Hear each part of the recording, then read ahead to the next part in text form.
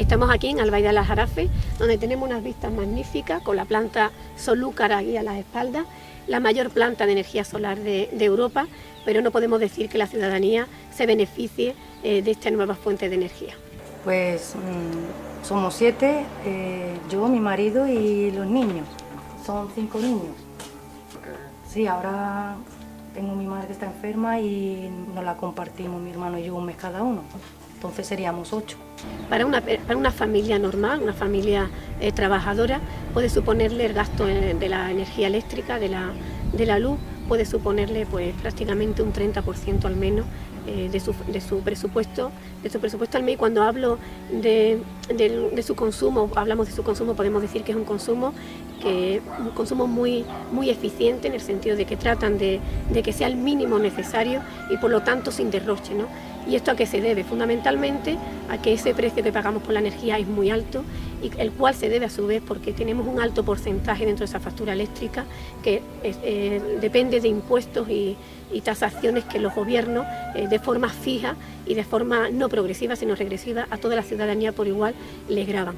Para nosotros la electricidad es un bien imprescindible hoy día en todas las épocas del año aquí nos hemos encontrado con que familias que le ayudamos en alimentos no pueden enchufar el frigorífico porque se les estropea. O niños que tienen que estudiar y se tienen que ir a la biblioteca hasta la hora que abre. Pero porque en su casa no encienden la luz porque la factura de luz no la pueden pagar o están con aviso de corte. En verano, son 40 y tanto, 46 por lo menos, Sí, hace mucho calor. Pues nada, un ventilador es lo que tenemos en casa.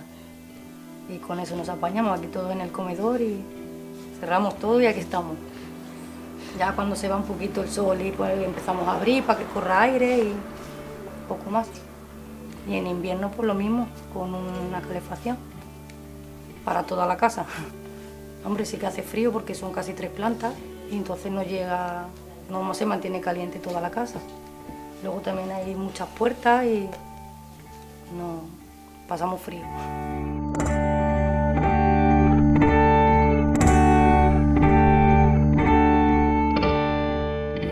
Y bueno, pues eh, para el agua, por ejemplo, y para la luz hay distintos programas que se pueden solicitar ayuda, como el programa de suministros vitales y, prestaciones de urgencia social subvencionado por la Junta de Andalucía que los ayuntamientos lo pueden solicitar. Y también Albaida, por ejemplo, de las Jarafe tiene un programa propio de fondos municipales.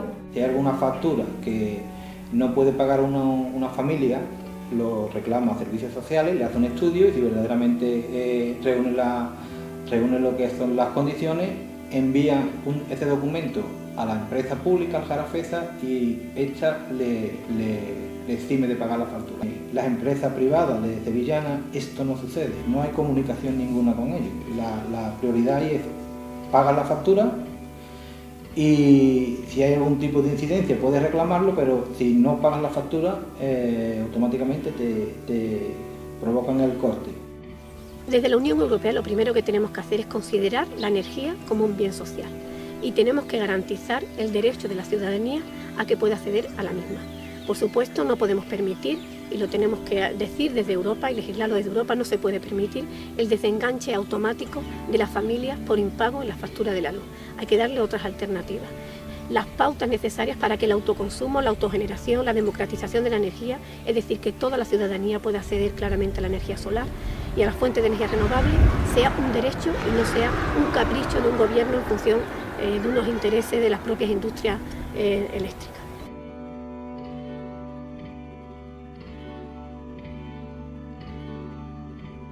Prioridad de los niños, lo que es el comer, eh, su ropa, que no le falte nada, pagar la, la casa también lo principal, lo primero que hago.